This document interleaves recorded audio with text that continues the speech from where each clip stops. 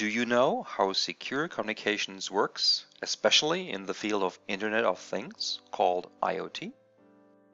Imagine a household with several electronic devices, such as a mobile, loudspeakers, a washing machine, and a laptop. These devices are connected to a network which routes device messages over a different number of hops to the destination. Due to the external internet connectivity, these devices are also able to connect to devices outside your home network, or they may communicate with authorized persons or devices, such as a washing machine. Such remote control determines one of the main ideas of Internet of the Things. However, upon communicating across the Internet, several decisions have to be made. What devices to be used, what communication medium to be used, Wi-Fi, radio, which protocols are supported and used in those devices, and finally, most importantly, what type of data has to be transmitted. Usually, sensible information, such as a login, a name, or even an identity, is associated with every type of data. Thus, how can privacy and security be ensured? One of the solutions applied is called encryption. Meet Alice and Bob. Alice likes Bob very much and throws a party today. She wants Bob to be there and sends him an invitation to the party. In this case, the invitation content can be considered sensitive as it is only addressed to Bob. However, this invitation on the way to Bob could be read by everyone, if not secured. Today, Alice uses her mobile and thus the internet to send the invitation.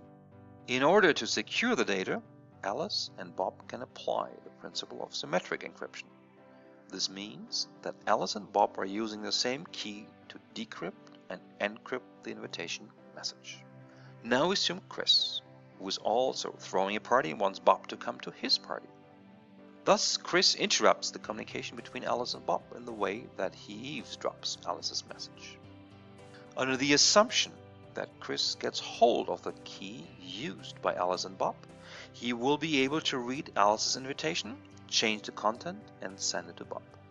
As an unintended result, Alice will be alone at 7 pm at her place and Bob will party together with Chris. An alternative solution in securing data in transit is to use asymmetric encryption or public key cryptography.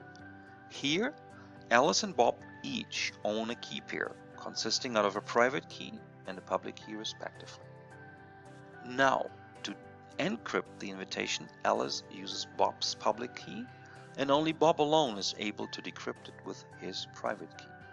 Also, Alice can sign her invitation with her private key, so Bob can assure the invitation is originating from Alice, because only her public key matches the sign. We have seen how to secure communications with encryption. Technically, encryption demands sufficient bandwidth, processing power, and memory but the field of IoT mostly deals with resource-constrained devices. Thus, IoT needs to use the lightest and fastest protocols, which differ from the normal protocol stack, but the encryption algorithms are the same. Algorithms for asymmetric encryption include RSA, Diffie-Hellman, and El-Gamal.